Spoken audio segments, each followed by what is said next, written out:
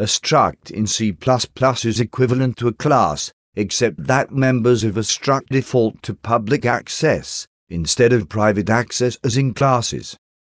By convention, structs are used instead of classes to represent simple data structures that mainly contain public fields. To declare objects of a struct, the normal declaration syntax can be used. Another alternative syntax common with structs is to declare the objects when the struct is defined by placing the object names before the final semicolon. This position is known as the declarator list and can contain a comma-separated sequence of declarators. There is a syntactical shortcut available when initializing an object, called aggregate initialization.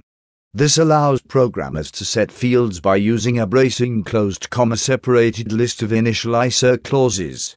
Aggregate initialization can only be used when the class type does not include any constructors, virtual functions, or base classes. The fields must also be public, unless they are declared as static.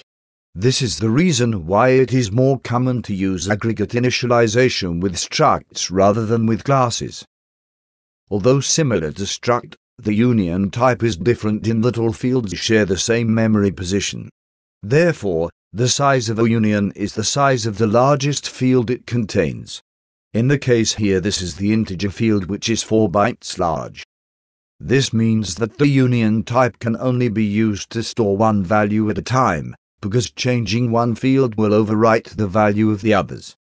The benefit of a union, in addition to efficient memory usage, is that it provides multiple ways of viewing the same memory location. For example, the union here has three data members that allow access to the same group of 4 bytes in multiple ways the integer field will access all 4 bytes at once. With the struct, 2 bytes can be viewed at a time, and by using the char array, each byte can be referenced individually. A union type can be declared without a name. This is called an anonymous union, and defines an unnamed object, whose members can be accessed directly from the scope where it is declared.